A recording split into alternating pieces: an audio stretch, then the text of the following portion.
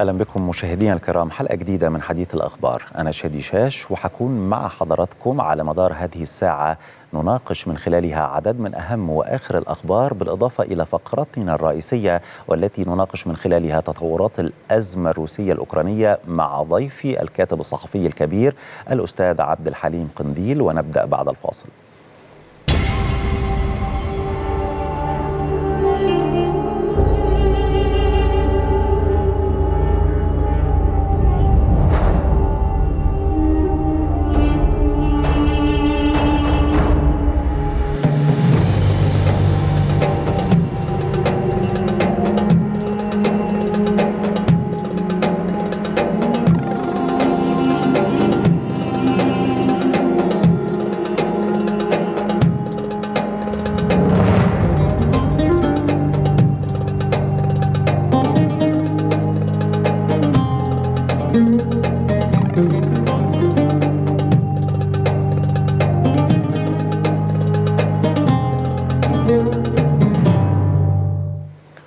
أكد الرئيس عبد الفتاح السيسي أن الأكاديمية العسكرية تقوم بدور مهم حاليا في إعداد وتأهيل الكثير من العاملين بالدولة.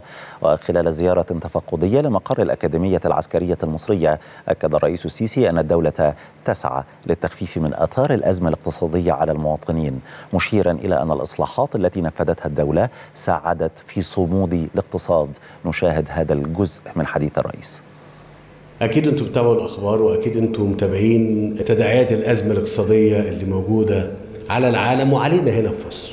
وأنا يمكن المرة اللي فاتت لما تحدثت معاكم أو اتكلمت معاكم قلت لكم إن إحنا بنحاول إن إحنا نخفف من آثار الأزمة ديت واللي هي داخلة دلوقتي في أكتر من ثلاث سنين. يعني إحنا بنتكلم في سنتين وباء كوفيد 19 وده كان ليه تأثير كبير جدا أيضا على الاقتصاد في العالم كله وعلينا في مصر.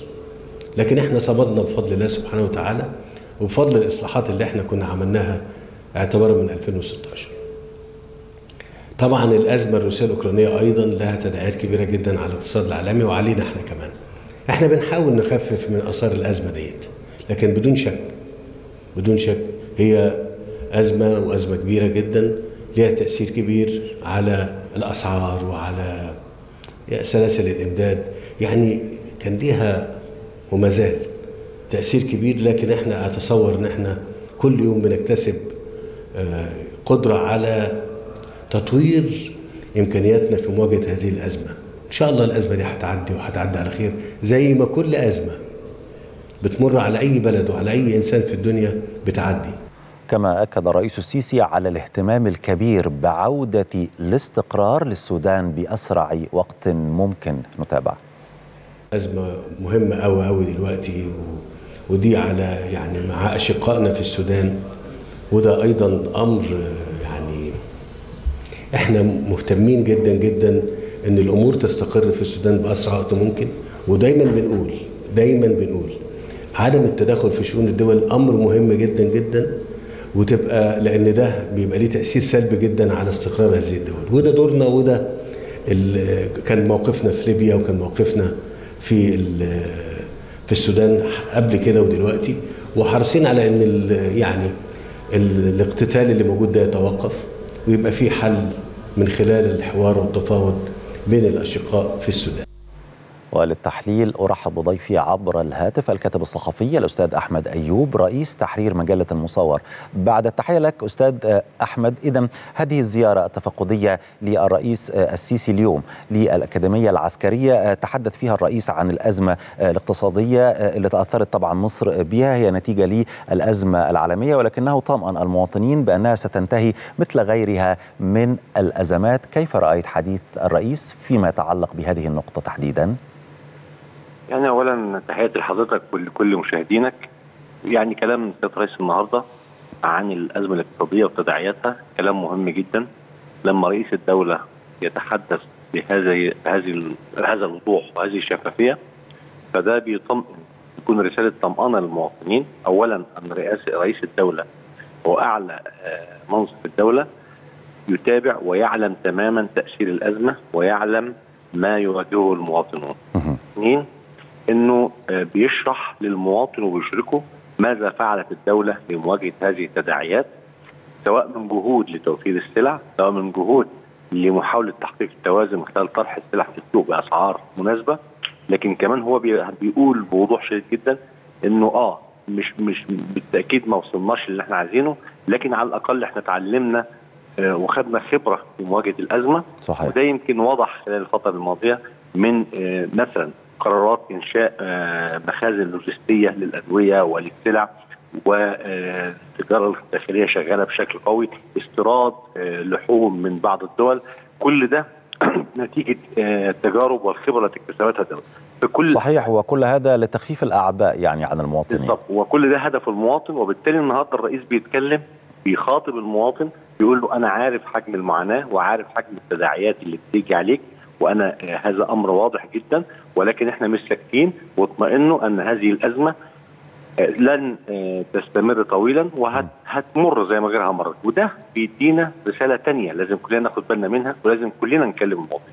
اولا لازم نكون على ثقة تماما بقدرات الدولة المصرية وقدرتها إنها تعدي لأن حالة المتشائمين أو محاولة فرض حالة من التشاؤم بيحاول البعض ان يفرضها على المصريين والإحباط لازم إحنا ناخد بالنا من ده. لا مصر قوية اقتصادها قوي. بنمر بأزمة آه العالم كله بيمر بهذه الأزمة لكن تأكد إن اقتصادك قوي تأكد إن هذه الأزمة هتعدي. واهم حاجة دعمك وثقتك في دولتك ودعمك وثقتك لقيادتك إنها بتدير هذا الملف بنوع من الاحترافية ونوع من من الرغبة في دعم المواطن والتخفيف عنه. نقطة أخرى يمكن تحدث عنها الرئيس السيسي فيما يتعلق بالسودان. ذكر أن مصر بالطبع بتدعم السودان تدعم كذلك الحوار الحل السلمي للأزمة هناك. شدد أيضا الرئيس على مبدأ ضرورة عدم التدخل في شؤون البلاد الأخرى. هي رسائل هامة وردت في حديث الرئيس يا أستاذ أحمد. خليني أقول لك أولا ما يتعلق بعدم التدخل في الدول. ده مبدأ خلاص أصبح واحد من ثوابت الدولة صحيح. المصرية. التي ترفع ويرفعها الرئيس السيسي منذ أن تولى رئاسة الدولة. إنه لا يمكن ابدا ولا تسمح مصر لنفسها بان تتدخل في شؤون الدول بل وتطالب الجميع إن كل دولة لها خصوصيه وشعب كل دولة هو اللي بيحدد مصيرها. أنت لما بتيجي تدخل عند دولة بتتدخل في محاولة تحقيق السلام، توثيق الأوض... التوفيق ما بين الأطراف المختلفة، وده اللي حصل في, السودان. هناك طرفين طبعا الجيش السوداني وميليشيا. القوات الدعم السريع.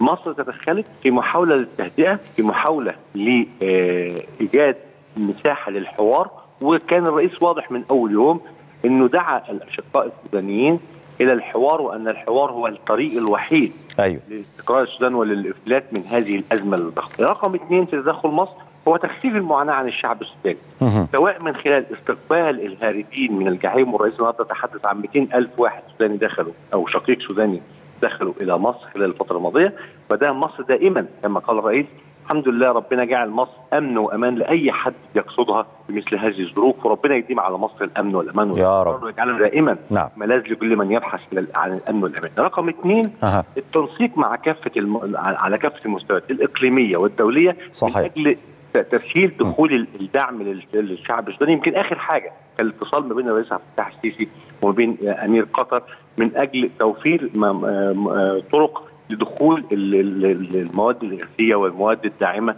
للمواطن السوداني.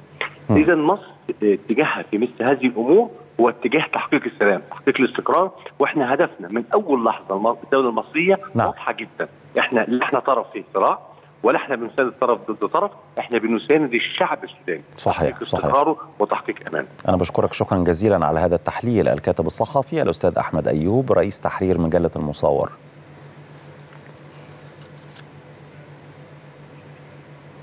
تنفيذا لتوجيهات الرئيس السيسي أعلنت الأكاديمية الوطنية للتدريب ومؤسسة حياة كريمة في بيان مشترك عن تبنيهما للطالبة المتفوقة منى طلع عماد والتي حصلت على المركز الأول في المرحلة الإعدادية على مستوى محافظة كفر الشيخ. وتتكفل كل من الأكاديمية الوطنية للتدريب ومؤسسة حياة كريمة بتقديم كل أوجه الدعم اللازم للطالبة المتفوقة في كافة مراحلها التعليمية القادمة حتى تخرجها من الجامعة. يأتي هذا بناء على تكليفات الرئيس السيسي بتبني الطالبة تعليميا دعما لتفوقها العلمي. طبعا زي ما عودنا الرئيس على اللفتات الإنسانية العظيمة تجاه أبنائه جاء هذا التوجيه الرئاسي لتبني الأكاديمية الوطنية للتدريب وأيضا مؤسسة حياة كريمة لهذه الطالبة المتفوقة الطالبة منا عماد. واللي واجهت تحديات يعني يمكن القول أنه لو واجهها حد غيرها ما كانش حقق النجاح ده سواء على الصعيد الأسري أو المادي. هي كلها موضوعات صعبة عانت منها هذه الطالبة وأيضا يعني كان هناك كثير من المعوقات والمشاكل اللي واجهت هذه الطالبة من انفصال للوالدين إلى يمكن طرد من المنزل. هي بتعيش حاليا الحقيقة في بيت خالي تقريبا من الأثاث. ولكن برغم كل هذه الصعاب بل والمستحيلات يمكن كمان. ما اهتمتش بهذه الظروف ركزت على مذاكرتها ركزت على تعليمها قدرت إنها تنتزع المركز الأول على المرحلة الإعدادية. بنقول ألف مبروك لمنا دايما بالتوفيق وإن شاء الله مستقبل باهر منتظرك.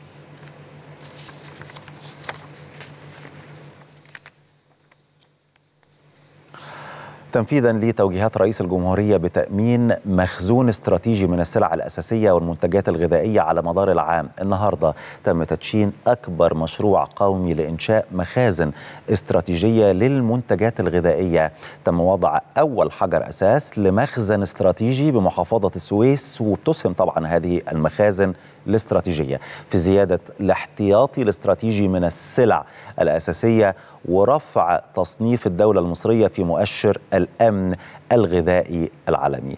المزيد معنا على الهاتف الدكتور أحمد أبو اليزيد الأستاذ بكلية الزراعة جامعة عين شمس. أهلا بحضرتك دكتور، كيف ترى أهمية هذه الخطوة في تعزيز زيادة المخزون السلعي من المنتجات على مدار العام؟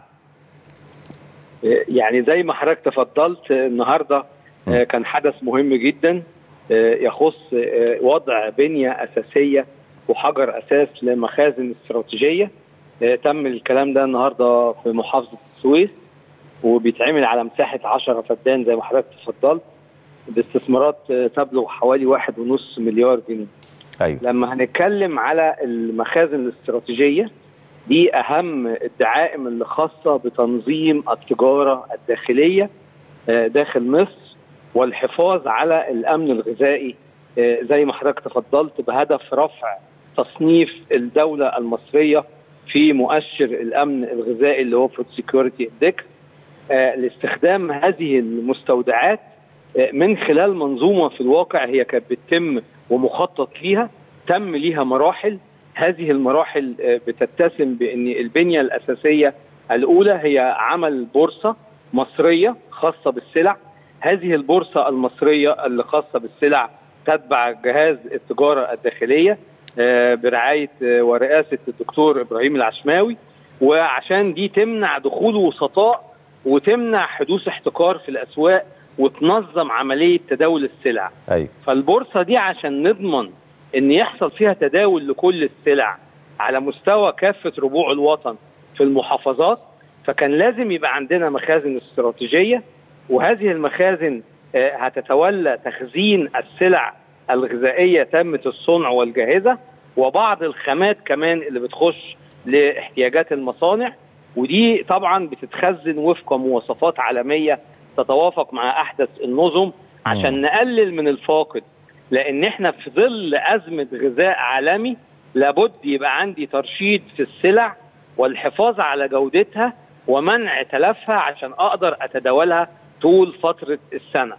لما هنتكلم النهارده على مخازن استراتيجية ده يعني سلامة الحفاظ على سلامة وجودة المنتجات يعني أن يكون هناك تأمين لمخزون استراتيجي عالي من المنتجات الغذائية على مدار العام وليس في موسم الإنتاج فقط يعني مضاعفة المخزون الاستراتيجي وتقليل الهدر والفاقد. صحيح. يعني إن إحنا هنقلل من حلقات التداول وما يخشش فيها وسطاء ونراعي التنوع والتوزيع الجغرافي لتلك المستودعات آه يعني أول مخزن هو في محافظة السويس ولكن بالتأكيد آه، كل المخازن. الاستراتيجية اللي هيتم آه، يعني وضعها بعد كده يا دكتور هتكون بتراعي هذه الخطة الجغرافية اللي بتتحدث عنها.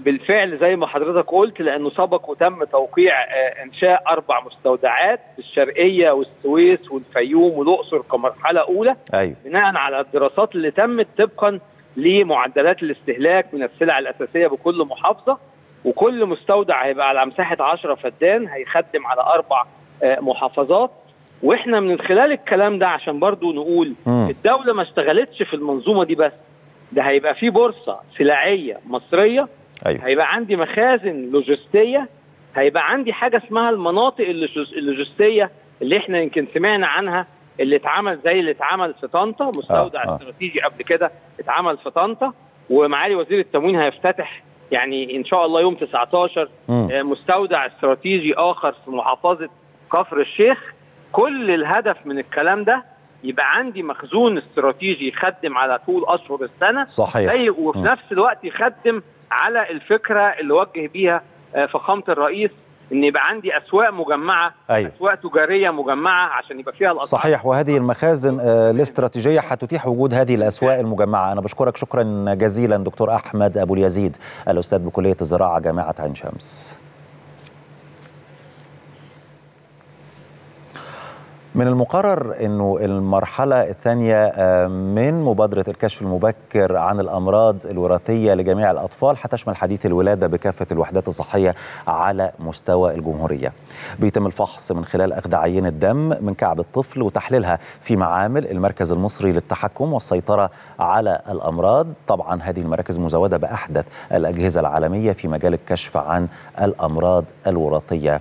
آه، أيضا آه، تم التوضيح إنه في حالة إيجابية العينة بيتم إحالة الطفل لإجراء اختبار تأكيدي للمرض وبدء تلقي العلاج اللازم مجانا وفقا للبروتوكولات المقررة من اللجنة العلمية للمبادرة، للمزيد من الإيضاح بينضم إلينا عبر الهاتف الدكتور محمد عاصم خرشد استشاري الجهاز الهضمي والكبد. بعد التحية لك دكتور كيف ترى أثر وأهمية هذه المبادرة على صحة أطفالنا؟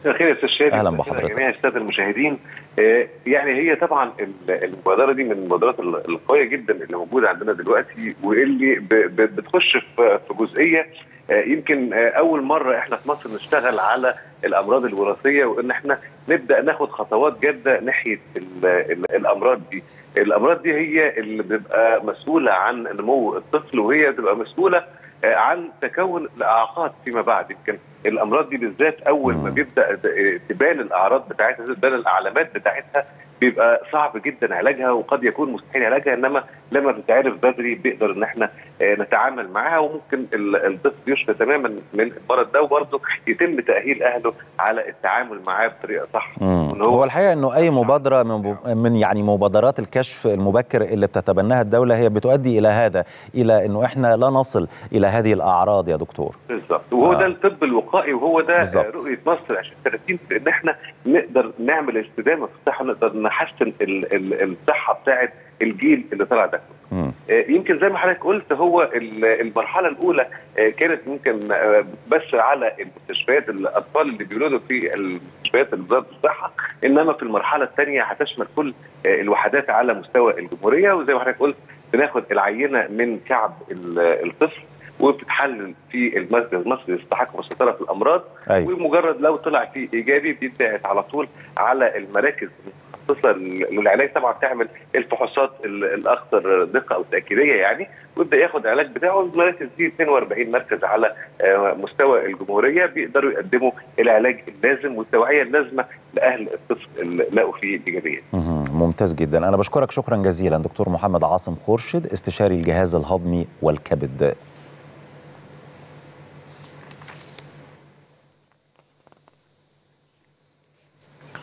أزمة جديدة تواجه الرئيس الأمريكي السابق دونالد ترامب والذي أعلن ترشحه لسباق انتخابات الرئاسة الأمريكية 2024 حيث تم الكشف عن لائحة الاتهام الفيدرالية ضده وكشفت أنه قد وجهت إليه 31 تهمة تتعلق بالاحتفاظ المتعمد بمعلومات الدفاع الوطني في انتهاك لقانون التجسس إلى جانب ست تهم أخرى. من جهته نفى ترامب ارتكاب أي مخالفات وقال إن التحقيق في الوثائق السرية والحساسة التي تم نقلها إلى ممتلكاته بعد مغادرته البيت الأبيض لها دوافع سياسية فيما تصاعدت الأصوات التي تطالب ترامب بإنهاء حملته الرئاسية للوصول إلى البيت الأبيض 2024 بعد إصدار لائحة الاتهام الفيدرالية المكونة من 37 تهمة. للمزيد من الإيضاح بينضم إلينا عبر الهاتف من نيويورك الأستاذ ماك شرقاوي الكاتب والمحلل السياسي. أهلا بك أستاذ ماك ما هو تأثير لائحة الاتهام الفيدرالية على موقف ترامب من خوض سباق انتخابات الرئاسة الأمريكية؟ أهلا بيك واهلا ب يعني جمهورك الكريم. أنا بعتقد آه إنها أصبحت فعلا witch hunt يعني أصبحت آه صيد السحرة. يعني آه لأن بأمانة شديدة يعني الجميع يعرف أن الحزب الديمقراطي بيستغل فرصة يعني وجود بايدن في الحكم ويعني بيخضع كل سلطات الدولة لإبعاد ترامب بأي شكل من الأشكال آه. عن الدخول في انتخابات 2024 لأنهم يعرفوا علم اليقين إذا كان ترامب في هذه الانتخابات فنسبته في الفوز أكبر بكثير من نسبة بايدن. الناس اختاروا بايدن آآ آآ يعني وفقا ل يعني متغيرات الأمور وأن هناك يعني شك في هذه الانتخابات ولكن كان يمكن أن يكون تغيير للسياسات اللي موجودة وموضوع كورونا و. آه يعني سوف يحدث تغييرا ولكن عندما شاهد الأمريكان أن إدارة بايدن أضعف كثيرا من الإدارة السابقة لها إدارة ترامب. النهارده الأمريكان بيقولوا اللفظ بتاعنا بس بالإنجليزي يعني ولا يوم من أيامك يا ترامب. للاقتصاد المتدني لسمعة الولايات المتحدة الأمريكية التي يعني انخفضت كثيرا في المحفل الدولي. فقد الكثير من الحلفاء الاستراتيجيين على رأسهم المملكة العربية السعودية وعلى رأسهم دول في أوروبا إرغام أوروبا على الدخول في هذه الحرب مع روسيا لتحقيق يعني مكاسب الولايات المتحدة الأمريكية يعني قطع خط الرجع عليهم بتسجيل يعني هو اتهامات موجهة لأمريكا وليس هناك دلائل ولكن الاتهامات تشير إن أمريكا هي التي فجرت خط الغاز الاثنين حتى يعني أعتقد إنه ما يهم المواطن الأمريكي أستاذ ماك هو الوضع الداخلي أكثر هو الاقتصاد الداخلي أكثر من هذه يعني الموضوعات السياسية التي لا تهم المواطن الأمريكي يمكن في شيء. نحن نعرف تماما يعني سيكولوجية هذا المواطن الأمريكي. ولكن فيما يتعلق بخوض الانتخابات الرئاسية لترامب هل هذه المشكلة الوحيدة توجيه تهم له؟ أم هناك مشاكل تتعلق بأنه من الجمهوريين من يريد أن يتقدم أيضا لانتخابات الرئاسة؟ هو في تك... طبعا في جمهوريين تقدموا يعني نيكي هيلي تقدمت بالظبط دي سانتوس تقدم مايك بينس تقدم هذا لا يمنع ان يعني ان الحزب يرى أن ترامب خير من يمثله. ولا يملك رفاهية التخلي عن ترامب. يعني حزب الجمهوري لا يملك رفاهية التخلي عن ترامب. ليه؟ لو تم فعلا إقصاء ترامب بهذه الطريقة الضغط والضغط والضغط الكتله الانتخابية الخاصة بترامب شخصا هتنسحب من الحزب الجمهوري. وده معناته إن الجمهوريين هياخدوا الكونجرس والبيت الأبيض على مدار العشر عقود العشر سنين القادمة العقد القادم. فلا يملك الحزب الجمهوري رفاهية التخلي عن ترامب. يعني خلي بالك هم مش يعني مش حابينه ولكن لا يملكوا رفاهية التخلي عنه. نمرة واحد. نمرة اثنين خبراء القانون الدستوري في الولايات المتحدة الأمريكية قالوا إن كل ما يتم الآن من محاولة عرقلة ترامب لا توقفه من الترشح. أيوة. لدرجة إن هم قالوا يستطيع أن يترشح من داخل زنزانته. ويحكم الولايات المتحدة الأمريكية من داخل الزنزانه تخيل يعني يعني مم. يعني الدستور بعض ال ال ال يعني الفقهاء بيقولوا لا والتعديل ال 14 الماده 3 بتقول لو تم إدانته في اتهام جنائي يعني خاصة في موضوع جورجيا وده أهم حاجة بالنسبة للماده التعديل التعديل 14 للدستور وهو يعني محاولة تزوير الانتخابات. يعني هم بيقولوا أيوة. اتهامات انه كان يريد 11000 صوت في جورجيا. دي اللي ممكن تكون عقبة. لكن موضوع 6 يناير أعتقد إن مفيش دلائل كافية ضده.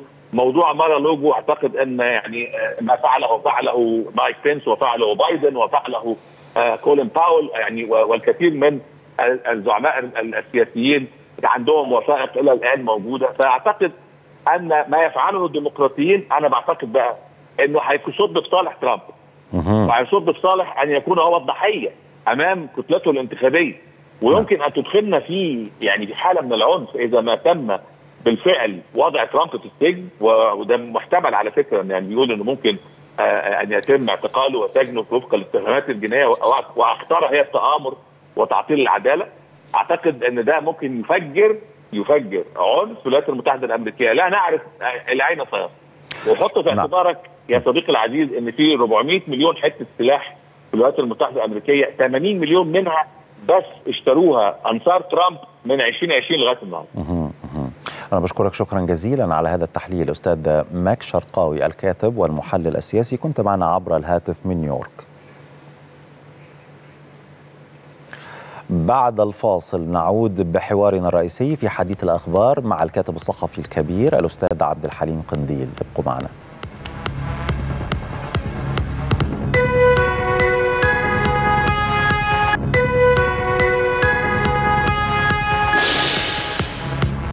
أهلا بكم من جديد مشاهدينا الكرام وهذه القراءة في تطورات الأزمة الروسية الأوكرانية وأحداثها المتلاحقة بعد تصريحات الرئيس الروسي فلاديمير بوتين بأن روسيا ستبدأ نشر أسلحة نووية تكتيكية في بيلاروسيا بعد اكتمال جاهزية المرافق بين السابع والثامن من يوليو. وهو ما يطرح سؤال متى تلجأ روسيا لاستخدام السلاح النووي؟ وهل تمثل تصريحات بوتين مجرد تهديد أم يتحول هذا التصريح لواقع فعلي؟ في المقابل يستعد البنتاغون لمساعدات للدفاع الجوي الأوكراني تقدر ب 2 مليار دولار. عن تطورات الأزمة الروسية الأوكرانية يدور الحديث مع ضيفي الكاتب الصحفي الكبير الأستاذ عبد الحليم قنديل. أهلا بحضرتك أستاذ عبد الحليم.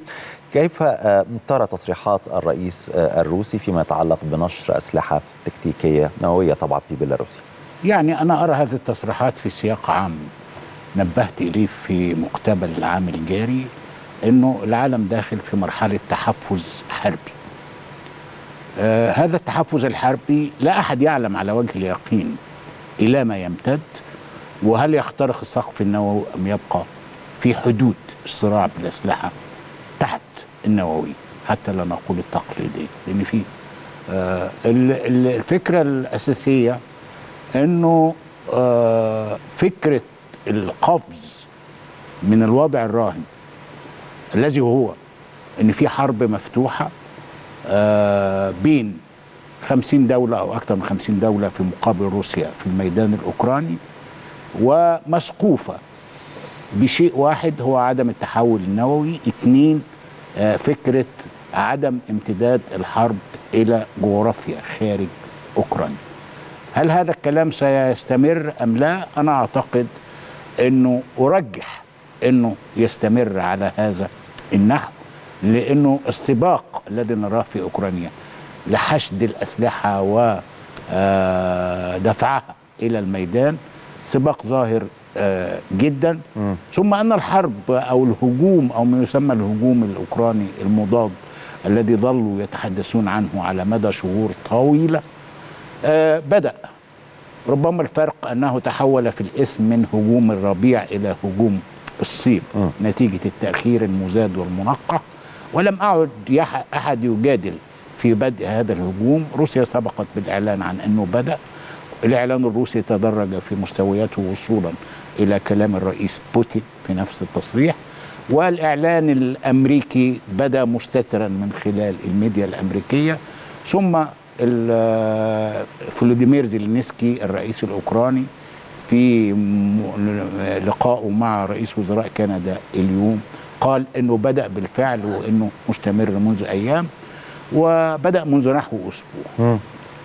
طيب أيضا ذكر الرئيس الروسي يعني نقطة تتعلق بالذخيرة وإنه الجيش الروسي يمكن يعاني من نقص في الذخيرة والمصانع الروسية تعمل على حل هذه المشكلة. هذه الجزئية في تصريحاته بدت ملفتة جدا. آه.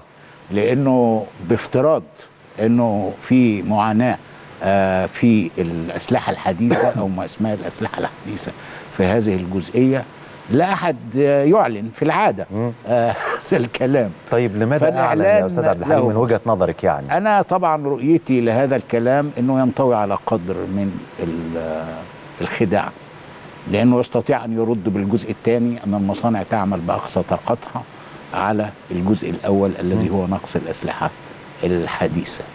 فأعتقد لاحظ إنه بوتين في الأصل رجل مخابرات يعني. ثم انه الوقائع على الأرض خلال الأسبوع الذي مضى من الهجوم الأوكراني آه تثبت إنه يعني إيه نقول 10 صفر. يعني في النهاية في آه عجز للجيش الأوكراني واللواءات التي أعدت لهذا الهجوم خاصة اللواء 47 الذي درب تدريبا اطلنطيا عاليا كما يقولون. يعني جرى إلى الآن لا نعرف ماذا سيجري في الأيام المقبلة لكن إلى الآن آه، جرى سحق موجات الهجوم المتجهة إلى جنوب دونيتسك أو المتجهة إلى زاباروجيا صح. لأنه آه، في في جانبان في الإعلان عن هذا الهجوم. مم. طبعا ال ال ال الجانب الأوكراني لا يعلن أي نتائج آه، صدر عن عسكري آه، مسؤول عسكري إيراني تصريح ملفت اليوم أن الروس يبالغون في آه. آه. إعلان الخسائر لكن كل حرب لها خسائر يعني يعني يعني فكرة الاعتراف الضمني الروس آه، لم يتحدثوا فقط بمبالغات لفظية شفعوا قراءتهم للوضع ودعايتهم عن الوضع آه، بالصور وبشرائط الفيديو الظاهرة جدا اللي أصبحت منتشرة في الدنيا كلها والتي حاول البعض حين رأى في أحد الفيديوهات محراثا أو يعني آه، كذا إنه يقول إن دي مش آه، ليوبارد آه. طبعا آه، آه، فجاءت بعد الليوباردات الليوباردات الحقيقة الدبابة الألمانية ليوبارد 2 فخر الصناعة الألمانية الحقيقة أصبحت مسخرة الأسبوع الفائت. بمناسبة أن حضرتك ذكرت حلف شمال الأطلسي يعني بيستعد الحلف لأكبر مناورات يمكن حربية جوية في آه، تاريخ الحلف الأسبوع آه، المقبل هل هناك رد روسي متوقع على هذه المناورات؟ لاحظ المسرح يعني الحلف الأطلنطي آه، من أيام أجرى مناورات ضخمة جدا في البحر الأسود مقابل رومانيا شارك فيها نحو 24 ألف جندي وجرى استخدام أسلحة. الحقيقة أصبحت سمعتها خارج التاريخ زي هايمرس والكلام من ده. بعد أن نجح الروس في إبطال مفعول السحر الذي نسب إليها. آه، في نفس الوقت كان هناك مناورات في بحر البلطيق أيضا ومناورات الجوية ال- ال- المعدلة. لاحظ أن الروس أجروا أيضا مناورات في بحر البلطيق صحيح. ومناورات في المحيط الهادي وطلعات جوية مشتركة بالقاذفات الاستراتيجية من بحر الصين إلى بحر اليابان. هذا ما أقصده بالتحفز الحربي يعني إيه؟ يعني المناورات هذه كانت تجري في العادة لحسن الإعداد والتدريب. تدريبات. إنما هذه هذا العام المناورات تشبه بروفات حروب. صحيح. يعني يعني ليست فقط مجرد يعني ال- ال- التهيئة أو تحسين آه، أجواء الاستيعاب العسكري بين قوات حلف الاطلنطي فأنت بصدد حالة حالة من التحفز إلى حرب. هل النتائج في أوكرانيا لو استمرت على هذا المنوال الذي بدأت به ال- ال- ال- الجولة آه، في عجز عن الاختراق لأنه الذي حدث إنه كان في ثلاث جبهات. جبهه دونيتسك وجبهه زابوريجيا وجبهه خيرسون خيرسون جرى تعطيلها لوقت قد لا يطول أسبوعين ثلاثة أسابيع آه، نتيجة أو لانفجار. السد. لأنه ببساطة غرق الهجوم الأوكراني في هذه النقطة ايا ما كان مع أن الذي أوكرانيا تقول. أنه الهجوم الروسي يعني هذا الانفجار للسد هو أخر الهجوم الروسي الروس منذ فترة أخذوا موضع موقع مواقع دفاعية ومن سخريات الكلام إن أحد المسؤولين العسكريين قال إنه القوات الروسية تتخذ اوضاعا دفاعية. هي في الأصل تتخذ اوضاعا دفاعية وكانت تبني خطوط دفاع حصينة وتنتظر هذا الهجوم الأوكراني. والقاعدة أنك لا تستطيع الجمع في نفس الوقت بين ال- الدفاع الدفاع والهجوم. لابد أن تستوعب هذا الهجوم وتصده وتشله ثم تعاود الهجوم. هل هذا ما فإذا تفعله القوات الروسية الآن؟ ما تفعله القوات الروسية من فترة سوى معركة بخمت الذي آه، التي تحدثنا عنها من قبل وبعض المعارك الأخرى في مارينكا وصولا لكراسني ليمان وكوبيانسك وتحت آه، أفديفكا. فمعارك لوكال يعني محلية محدودة متفرقة. إنما ال ال بصفة عامة القوات الروسية في أوكرانيا كانت تتخذ مواقع دفاعية ولدى أول اختبار حتى الآن كما قلت في أول أسبوع ثبت أن هذه التحصينات قوية جدا وأنه الأسلحة الروسية آه التي أدخلت يعني استخدام سلاح ال- ال- ال- الجو وتدمير دبابات ليوبارد بالصواريخ وإلى آخره أعتقد وإلى الآن نقطة الضعف الأوكرانية أو نقطة الضعف الغربية الحقيقة لأن إحنا عندنا فيالق أجنبية وغيرها يعني موجودة في الميدان أمريكية وبريطانية وبولندية وغيره وما إضافة للخبراء إضافة للتخطيط إضافة لخدمة الأقمار الصناعية إضافة لخدمة المعلومات المخابرات. فلا نستطيع آه، بدقة أو بصدق أن نصفها بأنها حرب هي حرب غربية بإقناع. أوكراني ضد روسيا.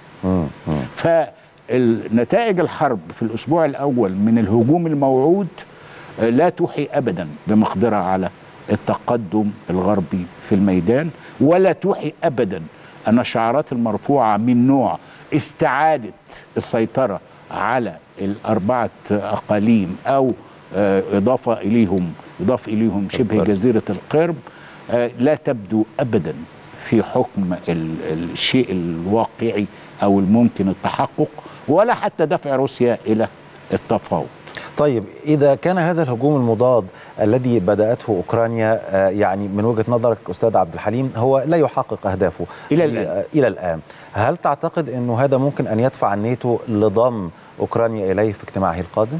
بالطبع لن آه، تتورط أمريكا لن تورط في نفسها في فكرة زي ضم الحلف ليه لماذا؟ لسبب بسيط أن كل ما يمكن أن تحصل عليه أوكرانيا من الانضمام للنا- للناتو حصلت عليه بالفعل. حتى بلد كاستراليا ليس عضوا في الناتو بل من مجموعة الأنجلو ساكسون. آه، اتكلم عن عن دي F 18 من الخردة أو التي توقف استخدامها أو كذا أو كذا. هل ال F 18 ولا ال F 16 التي ينتظرونها في الخريف أو في نهاية العام ستفعل شيئا؟ أكيد ستحسن من أداء القوات الأوكرانية لكنها لن تحقق سوى إطالة مدى الصدام دون إمكانية لتغيير الحقائق على الأرض. الحقائق اللي بتقول ببساطة إذا كنتم تريدون التفاوض فلتتفاوضوا على أساس من الوقائع العسكرية على الأرض. ولن يقبل طبعا الطرف الغربي التسليم بالهزيمة التي تبدو نذورها متدافعه. مم. طيب ماذا عن مهاجمة يعني أوكرانيا آه، هذه الآونة لمناطق آه، داخل روسيا؟ هذه الهجمات يمكن آه، تزايدت بشكل كبير والبعض بيرى أن روسيا يعني لا تقوم بما يلزم لصد أو منع هذه الهجمات. آه هذا كلام في في محله تماما والروس وأولهم الرئيس بوتين أشاروا إلى هذه النقطة لكن يجب أن ندرك ما أشرنا إليها من قبل. انه المساحة الروسية هائلة جدا وممتدة ومثل هذه المساحة الهائلة الممتدة من المحيط إلى المحيط آه آه، يعني تكون دائما عرضة لمخاطر آه من كل اتجاه. لكن في نفس الوقت هذه المساحة الهائلة توفر قابلية لامتصاص الصدمات. وأنا ألاحظ أنه لو مددنا النظر لثلاثة أسابيع مضت معدل ضرب مناطق حدودية في روسيا بالمسيرات أو بغير المسيرات يتراجع. يعني لاحظ مثلا بلجرود. في بلجرود كانت الهجمات التي تزعم أوكرانيا أن مجموعات روسية تبين أنها بولندية آه، هي تحارب آه، بوتين ودخلت. في آه، على الأقل في الثلاث أسابيع اللي فاتوا الحديث عن ثلاث هجمات تمت بالفعل. ولاحظ في الأسبوع الأخير اللي بدأ فيه الهجوم يتطور من اللسعات المتفرقة على الأراضي الروسية إلى محاولة التقدم الأرضي أيوه بمجموعات متقدمة تمهيدا له- ل- ل- ل- لاستجلاب قوات أكبر آه، ضعف في نفس الوقت ضعفت اللسعات أو الهجمات المتفرقة على ال- الأراضي الروسية خاصة الأراضي المجاورة لأوكرانيا. في كل الأحوال لا أحد يملك آه، إمكانية إنه آه، أو أو أو رفاهية تصور أنه لن تحدث آه، هجمات على مناطق روسيا. لكن في النهاية لا تحدث ولكن البعض يتحدث على أن روسيا يعني كما قلنا لا تقوم بما يلزم لصد هذه الهجمات. بوتين أشار بنفسه إلى ضرورة تحسين الدفاعات الجوية. صحيح. وده صحيح. وفي نفس الوقت هناك إشارات على بعض التحسن في الدفاعات الجوية سواء في إسقاط المسيرات أو كلام من ده أو قلة الخسائر أو تراجع الخسائر. أيضا هجمات المسيرات بعضها جرى مجددا على أجزاء من شبه جزيرة القرم. لكن هو العنصر الحاسم في النهاية إذا كانوا بيقولوا الكره جوان فالحرب أراضي. مم. بصرف النظر عن الكلام عن مشروعية ضم هذه الأراضي أو عدم المشروعية لأن كل حرب لها روايتان ونحن نعرف الفجوة الهائلة بين الرواية الروسية والرواية الغربية حول ما يجري في أوكرانيا. مم. فهل هناك إمكانية لتقدم غربي لاسترداد أو استعادة السيطرة على المناطق التي سيطرت عليها روسيا؟ إلى الآن لا تبدو من مؤشرات آه، تدعو للثقة في إمكانية تحقق هذا الهدف. كليا أو جزئيا. حتى لو نجحت بعض هذه الهجمات في إحداث اختراقات لأنه ما جرى هو جس الجبهة آه. البحث عن نقطة ضعف للدخول منها. أفضل اختيار آه، لأنه ال- الوقائع كلها صارت معروفة والمفردات معروفة. أفضل اختيار لأوكرانيا هو أن تدخل من زابوريجيا إلى الطريق في اتجاه شبه جزيرة القرم لكي تقسم القوات الروسية إلى جزئين وإلى آخره هذا الكلام طبعا يعني التكتيكات مكشوفة إيه- هذه المشكلة. لا توجد إمكانية لمفاجأة. يعني الأمر مختلف عما جرى في سبتمبر وأكتوبر آه. عام 2022 حين كانت قوات الجيش الأوكراني توحي بأنها ستتقدم إلى الجزء الغربي من خيرسون ثم انطلقت إلى آه، آه، خركوف. ما جرى في خركوف وقتها من انسحاب القوات الروسية الموجودة في شرق خركوف أو خركيف تحت ضغط الهجوم الأوكراني المفاجئ آه، أنا أعتقد كان واحدة من علامات الخيبة في الميدان الروسي. تشبه أحيانا الخيبات المتفرقة الخاصة بنقص الاستعداد القتالي في بعض المناطق الروسية التي تهاجمها آه، أوكرانيا. لكن آه، هم استوعبوا الدرس أعادوا تنظيم خطوط الدفاع قرروا هم بذاتهم الانسحاب من الضفة الغربية لنهر دينيبرو وإعادة تنظيم الخطوط وبناء تحصينات تشبه وهذه هي المفارقة ما جرى في الحرب العالمية الثانية. صحيح. يعني في مفارقة انه في مقابل تكتيكات حديثة التكتيكات القديمة تثبت فعاليتها. صحيح. أنا بشكرك شكرا جزيلا على هذا التحليل أستاذنا الكبير الأستاذ عبد الحليم قنديل. شكرا لوجودك معنا. مشاهدينا بهذا نكون قد وصلنا إلى ختام هذه الحلقة من حديث الأخبار على شاشة اكسترا نيوز شكرا لمتابعتكم وإلى اللقاء.